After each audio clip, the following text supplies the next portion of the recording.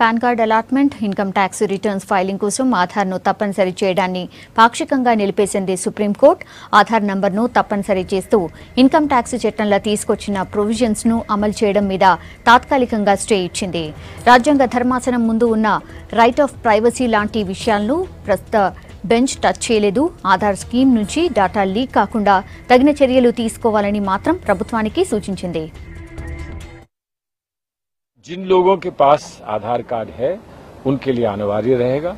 जिनके पास आधार कार्ड नहीं है किसी कारणवश भी, उनके लिए अनिवार्य नहीं होगा और उनके जो भी पैन कार्ड के ट्रांजैक्शन हैं, वो वैध माने जाएँगे, वो अवैध नहीं हो जाएँगे। ये सरकार, ये कोर्ट की आज बड़ी स्पष्ट निर्णय कोर्ट का आज आया है।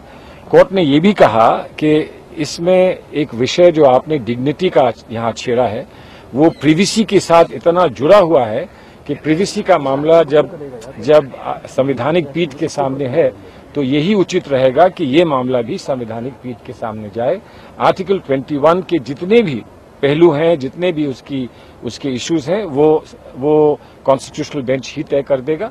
हम सिर्फ़ आर्टिकल 14 के मामले में जो भी हम विचार कर सकते थे, वो हमने किया है और उस विचार के बाद हमने इसको वैध घोषित करते हुए आधार कार्ड को, लेकिन क्योंकि इसके जो संशोधन किया गया है कानून में उस वो बहुत कड़ा पड़ता है एक, एक व्यक्ति के लिए जिसके पास आधार कार्ड ना हो हमने उसको राहत दी है। ये संकेत दिए हैं कि जो भी जो भी व्यवस्था बनाई है उसमें जो त्रुटियाँ हैं जिसका जिस जिस पर काफ़ी बहस हुई थी और उसमें संभवतः उनको कोर्ट ने अपने जजमेंट में अपने फैसले में अंकित किया होगा उस पर आप विचार पुनर्विचार कर लें और उस पर और विचार करने के बाद जो संशोधन है या जिस पर और कार्रवाई की आवश्यकता है, उसको अवश्य करें, ऐसा कोर्ट ने